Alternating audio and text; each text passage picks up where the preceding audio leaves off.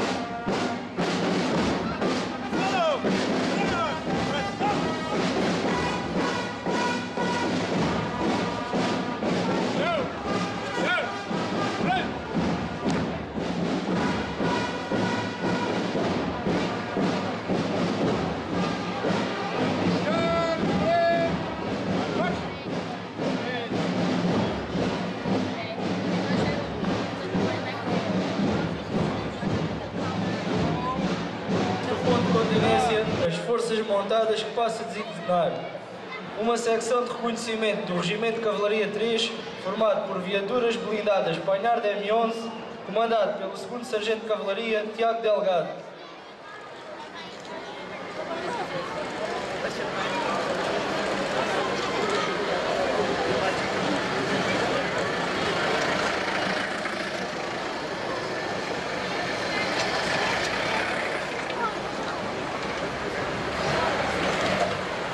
Uma bateria de salvas equipada com abusos 8,8 cm M943 do Regimento de Artilharia número 5, comandada pelo Capitão de Artilharia Fábio Marmelo.